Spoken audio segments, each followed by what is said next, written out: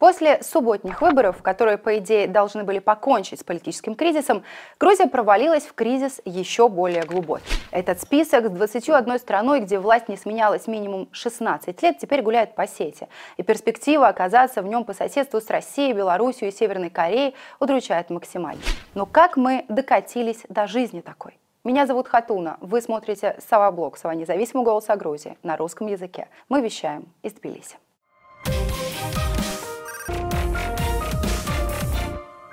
Не забудьте про лайк и подписку. Вся информация о том, как можно поддержать нашу редакцию, ждет вас в описании. По всем опросам общественного мнения, более 80% населения Грузии хотят в ЕС. Тем не менее, на прошедших 26 октября выборах, которые приравнивались к референдуму, в четвертый раз подряд победила партия, уже открыто называемая в мире пророссийской. В основу этой победы легли два фактора. Поддержка власти в среднем 35% населения и сложная схема фальсификаций. Предлагаю поразмышлять над каждым.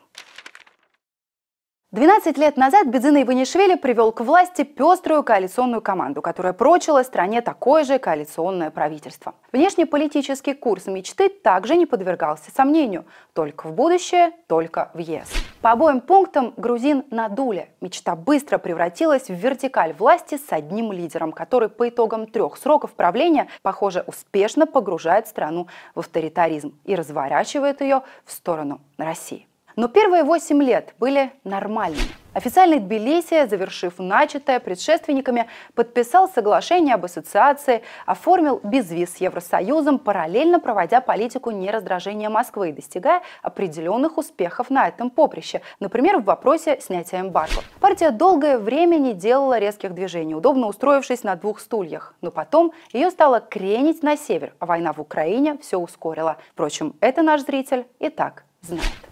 В год выборов, несмотря на протесты, грузинская мечта приняла два закона, которые называют маркерами лояльности Кремлю. Закон об иноагентах и анти-ЛГБТ поправки. При этом партия поставила на консервативную часть общества, буквально забрав нарративы электорату финансируемых Кремлем грузинских организаций. Прогрев населения проводился активно и строился на языке ненависти, страхе и теориях заговора. Вишенкой на торте пропаганды стала глобальная партия войны, которая якобы хочет открыть в Грузии второй фронт и давит с этой целью на правительство США и ЕС. Да, даже такой откровенный бред подействовал на часть общества. И вся фишка в том, что большинство избирателей мечты, вероятно, тоже выступает за евроинтеграцию Грузии. Но здесь партия напоминает о соглашении об ассоциации с ЕС, без визи и заявки на членство. Дескать, разве мы пошли бы на все это, если бы не хотели в Европу? Еще одна хитрость в том, что нападки на Запад косвенные. Якобы козни строят не Вашингтон с Брюсселем, а могущественная международная сила, которая пытается на них повлиять. И именно по причине того, что все это похоже на бред, значительная часть избирателей шла на парламентские выборы 2024 с четким пониманием. Предстоит выбирать между ЕС и Россией. Под занавес третьего срока грузинская мечта, кажется, сдулась. Ни размытые намеки на скорую территориальную целостность, ни страшилки с войной не оказывали того эффекта, на который рассчитывала партия. А потому на выборы власть пришла со сложной схемой фальсификации, которая частично была хорошо опробированной старой, а частично инновационной. Эксперты в области рассказывают, что еще в 2008 году перед МВД Грузии поставили задачу создать такой механизм победы на выборах, где роль ЦИК и избирательных комиссий сводилась бы к минимуму, и где ни местные, ни иностранные наблюдатели не смогли бы выявить существенных нарушений. Такой механизм разработан был, и он достался грузинской мечте по наследству от предшественников. Именно благодаря ему ОБСЕ БДИПЧ многие годы говорили о, цитата, «в целом свободных и конкурентных выборах». Фишка в том, что исход голосования решается до дня голосования. Власть заранее мобилизует в первую очередь административный ресурс. Подключает к работе органы самоуправления, полицию, криминальных авторитетов, подкупает, шантажирует, угрожает, обещает и перетягивает таким образом голоса на свою сторону. Краеугольным камнем в фальсификационной схеме в этот раз были махинации с удостоверениями личности, которые партия, например, арендовывала у социально незащищенных лиц, отбирала у оппозиционно настроенных граждан и так далее и тому подобное.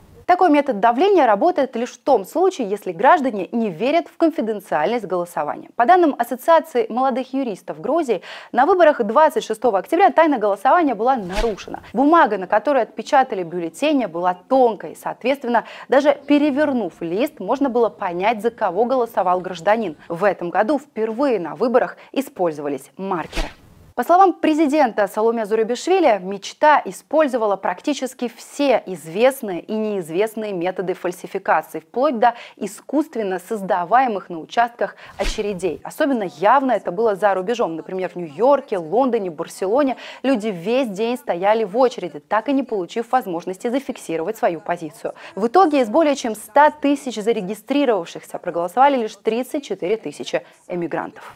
Сегодня Грузия как будто замерла. Люди устали, вымотались и чего-то ждут. Президент и оппозиция выборы не признали. Грузинская мечта старается не привлекать к себе внимания, и сложно предположить, как разовьются события дальше. Но есть риск, что если в этот раз у Иванишвили выйдет легитимироваться, следующего голосования в стране просто может не быть.